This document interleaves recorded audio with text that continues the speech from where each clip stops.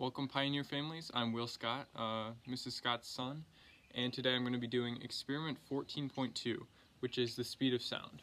So today the materials I need are going to be two rocks to bang together, my stopwatch, and a GPS watch, which is also kind of a stopwatch, so I'm using it as a double function here. And basically what we want to learn today is how fast is sound compared to the speed of light. Alright, so we'll get right into it. So essentially what I'm doing here is I'm just running out to measure uh, the 100 meters and from there I'll begin my trials and after the trials I will take my data.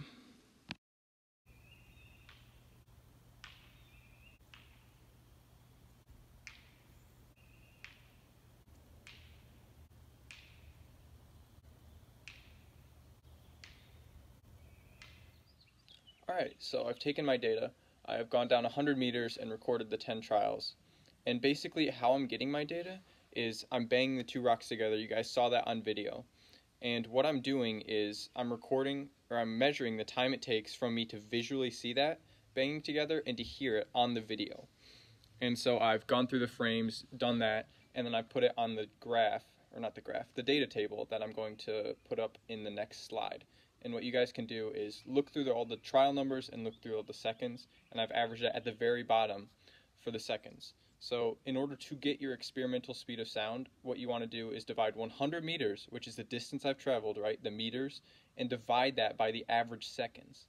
So that's going to get you speed, experimentally, speed of sound in meters per second. So you guys can pause the video after this and do that.